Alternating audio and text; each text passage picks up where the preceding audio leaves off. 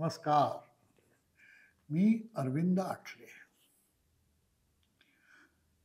गायत्री पुरस्कार मी केल्याचं तुम्हाला मागे सांगितलं. या गायत्री पुरस्काराचे मी भाग केले होते. त्यातला एक चातुर्मास मी धुळ्याच्या पद्मनाभ स्वामी मठामध्ये राहिलो. आणि त्याच्या पुढचा चातुर्मास गाणगापूरला करावा अशी माझी इच्छा झाली. गाणगापूरसारख्या ठिकाणी त्यावेळी तर ते अगदी खेळच होते. पाच सातशे घरं असतील तिथे त्या काळामध्ये.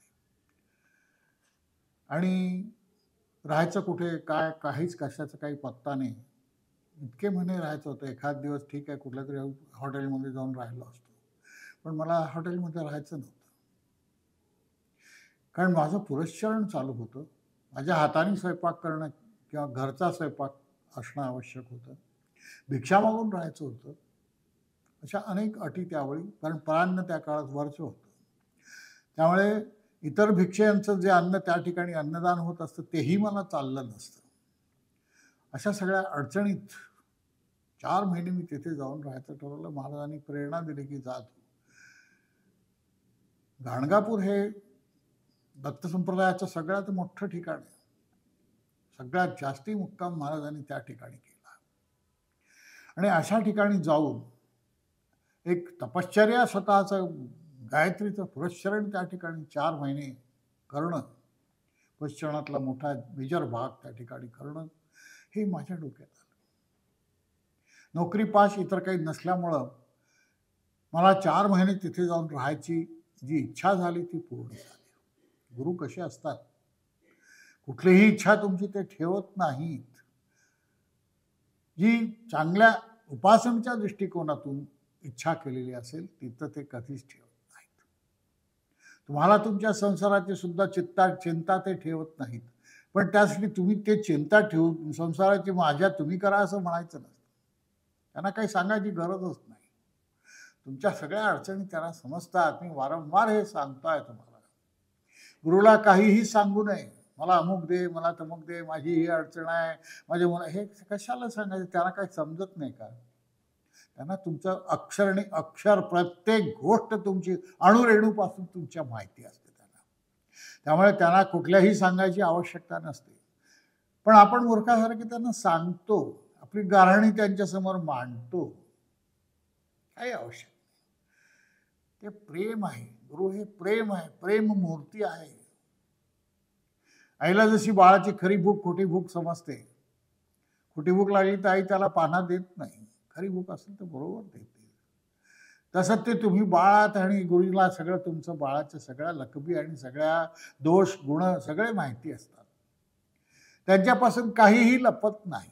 लपवायचा प्रयत्नही करू नका. तुम्हाला वाटेल हे मी सांगली थाप मारली ते पचून गेली. असं गुरुकडे होत नाही.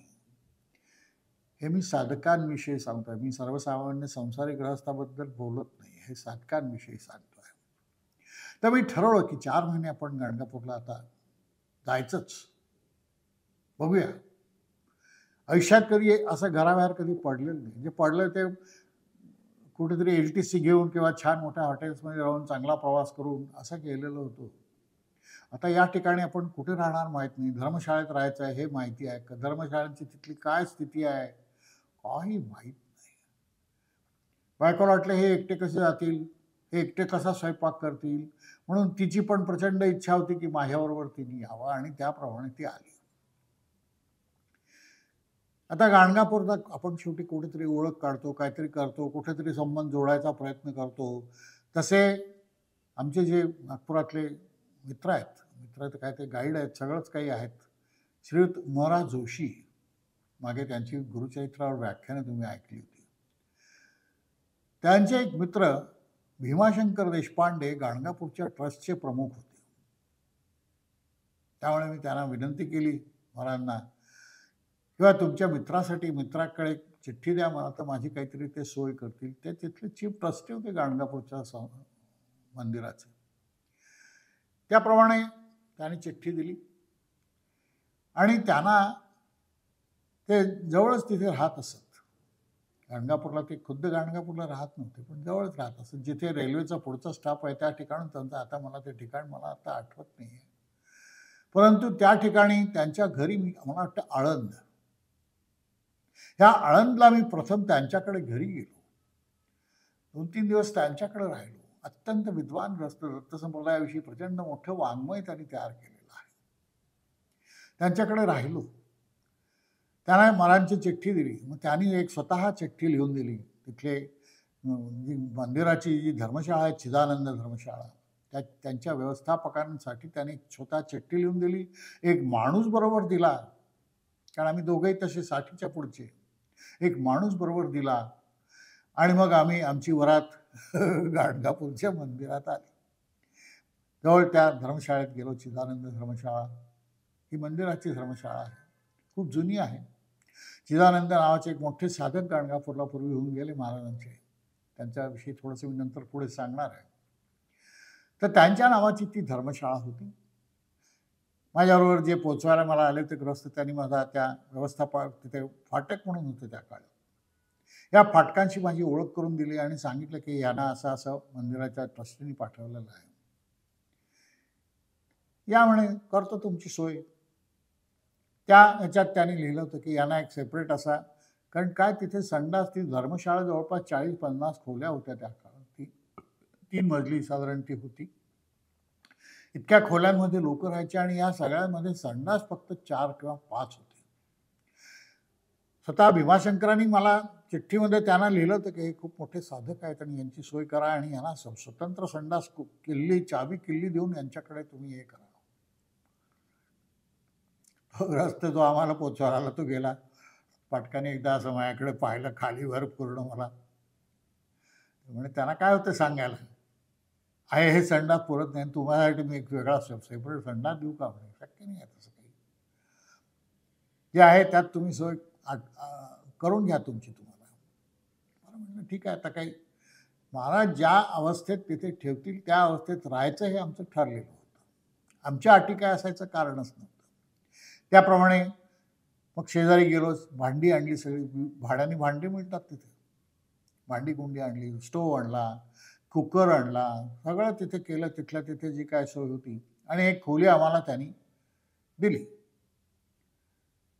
त्यांना म्हटलं की चार महिने ते म्हणजे कसले राहता हो तुम्ही? तुम्ही आठ दिवस राहून दाखवा खूप झालं तुमचं.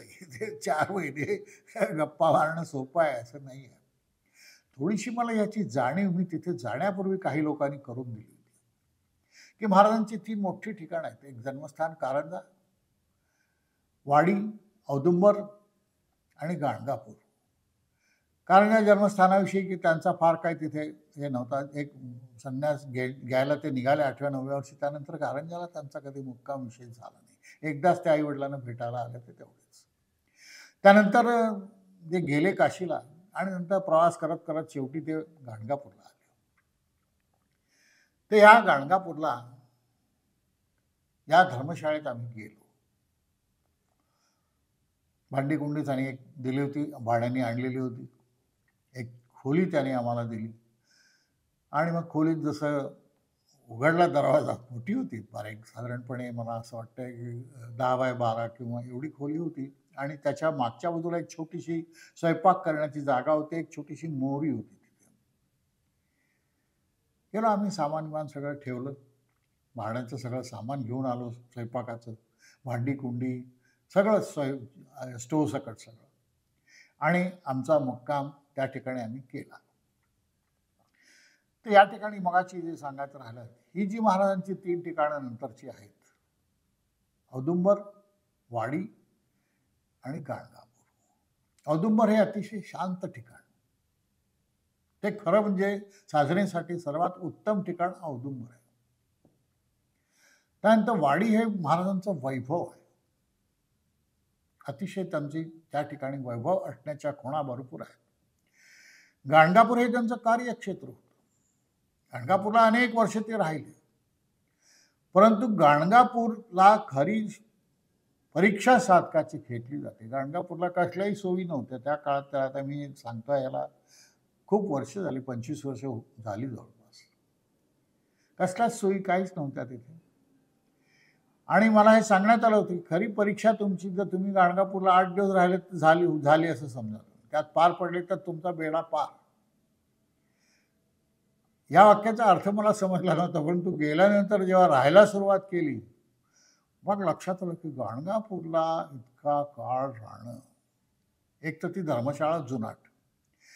भिंतीतून उंदीर इकडून त्या खोलीतून पलीकडे जायचे सगळे भोक भोक त्या भिंतीला पडलेली पहिल्याच दिवशी आमचं स्वयंपाकाचं जे काय केलं त्या घुशीने खाल्लं. कारण त्या बाथरूम जी होती त्याच्यामध्ये प्रचंड मोठे मोठे भुण अशी भुयाऱ्यासारख्या त्यातून फटाफट घुशी यायच्या. काही तुझं अन्न खाली ठेवण्याची काही सोयच नाही.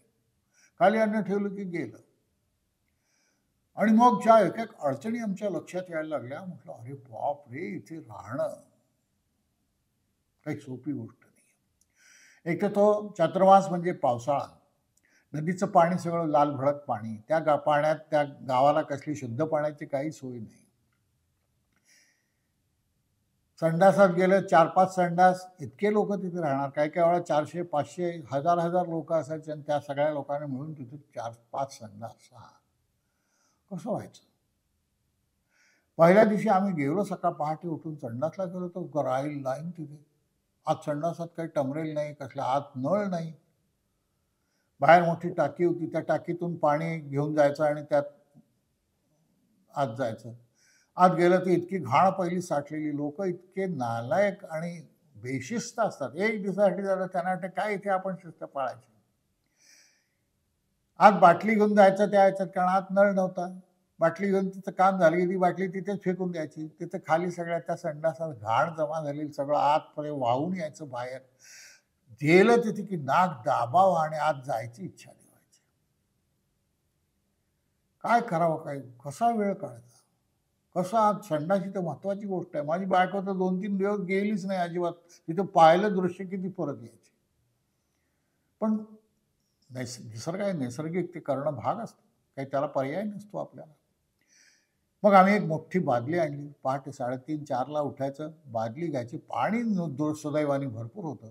भडकाभक बादल्याने स्वच्छ करायचा तो सगळा संडास. आणि मग संडासला जायचो. ती तिकडे उभी असायची त्या धर्मशाळेच्या दारापाशी. मी खूण करायचो आता तू ये. मग माझ्यानंतर ती जायची. मग दिवसभरात काही संडास साफ करणारे होते माणसं पण ते उशिरा यायचे. सात सात साडेसात आठला ते यायचे. तोपर्यंत तिथे घाण. लोक इतके घाणेरडे बरं त्यांना घाई व्हायची इतकी गर्दी बघितल्यानंतर काही लोक वाटेत तिथेच बसायचे. अंधार त्या अंधारात पाय द्यायचा काही वेळा त्याच्यामध्ये. अतिशय खरोखरच आमची परीक्षा होती त्या असल्या वातावरणामध्ये. पण आमच्या जन्मातले सांगतो सगळ्यात अतिशय आनंददायक समाधानकारक असे जर दिवस गेले असतील तर ते त्या ते चार महिने होते. उपासनाच्या दृष्टिकोनातून अत्यंत छान अत्यंत सुंदर सुंदर अनुभव. पहाटे मी उठायचं लवकरच उठत झकमरत लवकर उठावं लागायचं. माझं सगळं ध्यानधारणा पूजा अर्चा जप जाप्य जे काही गुरूंनी निर्दिष्ट केलेली साधना ते सगळं आटपून साधारणपणे सहा सव्वा सहाला मी घराबाहेर पडायचो. अष्टतीर्थ होती. आणि संगमावर पहिल्या दिवशी पहिलं संगमावर गेलो. चार महिने मी पायात कधी चप्पल नाही घातली. आपल्या गुरूंची धूळ ज्या मातीला लागलेली आहे त्या मातीत आपण चप्पल घालून राहणं हे काही मला पसंत नव्हतं. चार महिन्यात मी तिथे कधी चप्पल नाही घातली. तसंच पहाटे उठायचं झुंजू जेमतेम प्रकाश असायचा संगमावर जायचं. संगम त्या याच्यापासून साधारण तीन चार किलोमीटर होता. जप करत करत जायचं. संगमावर माध्यान्नीपर्यंत बसायचं जप करत आणि मग परत यायचं. तोपर्यंत स्वयंपाक झालेला असायचा. जे काही भिक्षा मागे जाता येताना भिक्षा मागायची. जे काही कोरडी भिक्षा कारण ओली भिक्षा चालत नव्हती. पुरस्चरण चालू होतं. जे काय कोरडी जे काय कोणी तांदूळ देतील कोणी डाळ देतील कोणी काय केली असं काढणं भिक्षा मागून राहण्याचा अर्थ मला त्या ठिकाणी समजला. सगळं तुमचं अहंकार नष्टच होतो. जे लोक भिक्षा मागतात त्यांच्याविषयी तुमच्या मनात कळ उत्पन्न होते. गरीब काय असते अन्न नाही मिळालं तर काय होतं? हे सगळं त्या काळात बरोबर समजत गेलं. अतिशय महत्त्व आहे त्या अपेक्षेला. म्हणून गाणगापूरला गेल्यानंतर भिक्षेचा एक समारंभ प्रत्येकजण तिथे जाऊन भिक्षा मागण्याचा एक पद्धत पडलेली आहे की तुमचा अहंकार धावा. तर ही चिदानंद स्वामींची धर्मशाळा ही इतकी सुंदर. काय काय तिथे जे काय आम्हाला आमचे दिवस खरोखर आनंदात. पहाटे मग मी भजन करायचो. मग दिवसभर छान बारा वाजता मध्यान्नीला यायचं परत भोजन करायचं. आणि मग दोन तास विश्रांती घ्यायची. नंतर उठून पुन्हा संध्याकाळी मी भजन करत असे. बाहेर असे लोक जमा व्हायचे त्या काळात. मला आवाज फार सुंदर होता माझा. भजनाला लोक जमा व्हायचे. तो काळ खरोखरच आणि सतीचा कट्टा आमच्या ह्या धर्मशाळेबरोबर समोर सतीचा कट्टा होता. खरं म्हणजे ती ते स्मशानच होतं. स्मशानात ती धर्मशाळा बांधलेली होती. कारण सतीचा कट्टा हा त्या स्मशानाचाच भाग आला. पूर्वीच्या काळीचं ते स्मशान होतं. पहाटे बसल्यानंतर काही वेळा असं अनेक व्हायचं की मागे कोणतरी बसलंय असा भास व्हायचा. एकदा मी एक दोनदा मी असं बघितलंही मागे. तर पांढरे वस्त्र घालणाऱ्या स्त्रिया किंवा भगवे वस्त्र घालणारे संन्याशी बसलेले दिसायचे मागे. मी घाबरलो नाही. कारण माझ्या गुरुवर माझा प्रचंड विश्वास होता. मला कधी भीती वाटली नाही. मग मी त्या व्यवस्थापक जे फाटक होते त्यांना विचारलं का होय असं काहीतरी दिसता इथे? काय आहे? त्यांनी एकदा माझ्याकडे बघितलं. तुम्ही मला दुसरे ग्रस्त भेटले म्हणजे याच्या आधी एक जण एक जणांनी हा अनुभव सांगितला हे आपलं स्मशानात आहे. इथे जे काही जीवात्मे ज्यांना मुक्तीसाठी तडफड करत असतात तर कोणी साधक दिसला की ते मुद्दाम त्या ठिकाणी जातात ते आषाढभूत असतात की तुम्ही काहीतरी त्यांच्यावर कृपा कराल. त्यामुळे अशा प्रकारचे जे जीवात्मे आहेत ते काही वेळा अशा ह्याच्यात येऊन बसतात. आता काही आपल्याला दुसरं काही हे नव्हतं. खूप माझे दिवस त्या काळात आता त्या ठिकाणी मी कल्लेश्वराला जायचो संगमावर जायचो नंतर मनकर्णिका हे सगळं बघितलं. सच्चीच्या कट्ट्यावर काही वेळा बसायचो. नागमंदिर त्या ठिकाणी सायनदेव ज्या देवाला गुरुनी अग्नी आणायला पाठवलेलं होतं संगमावरून. तो ज्या ठिकाणावर आला आणि परत गेला त्या ठिकाणचं ते नागमंदिर आहे त्या ठिकाणी. दोन नाग त्याच्याबरोबर जे होते आजूबाजू त्यांचं एक मंदिर त्या ठिकाणी बांधलेलं आहे. मनकर्णिका आहे. जे काशी मांडली जाते ज्या ठिकाणी काशीचं पुण्य त्या ठिकाणी मिळतं अशी अशा प्रत्येक ठिकाणी मी रोज एका ठिकाणी अष्टतीर्थावर जाऊन पहाटे सकाळपासून दुपार माध्यान्नीपर्यंत गायत्रीचा अनुष्ठान करीत असे.